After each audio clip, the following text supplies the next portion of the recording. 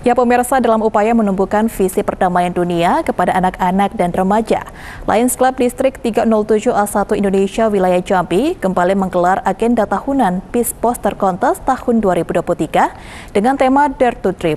Melalui tema tersebut, para member sekaligus penyelenggara lomba berharap anak-anak bisa menyalurkan impian mereka dalam mewujudkan perdamaian dunia melalui media gambar.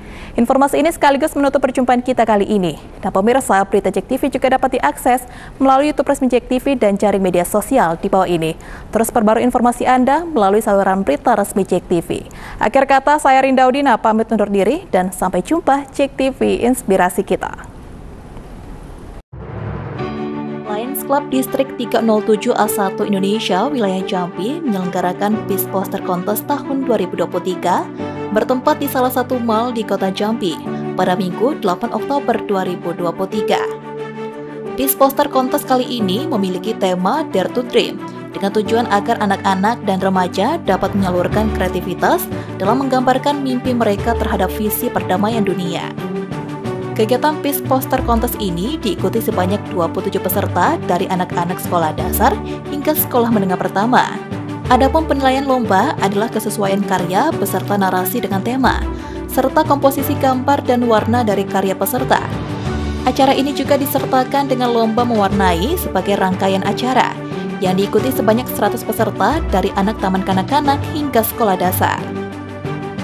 Melalui kegiatan ini, para member Lions Club wilayah Jambi berharap dapat menemukan kader-kader terbaik yang akan memberikan sumbangsihnya untuk Lions Club di masa depan. Uh, pada hari ini Lion Club Jambi mengadakan acara dengan judul Peace Poster Competition. Jadi Peace Poster ini sebenarnya memberikan uh, satu pengenalan atau pengertian tentang tema peace kepada anak-anak muda. Kita kan sering lihat dunia ini banyak konflik ya. Jadi kita pengen menanamkan konsep peace.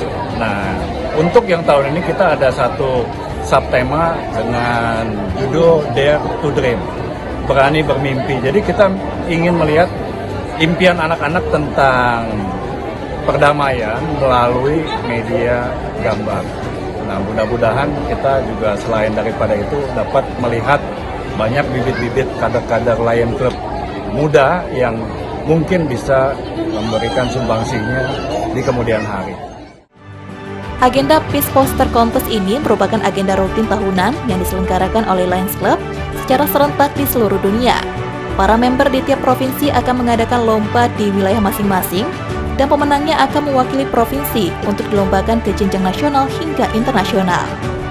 Suciati, Cek TV, melaporkan.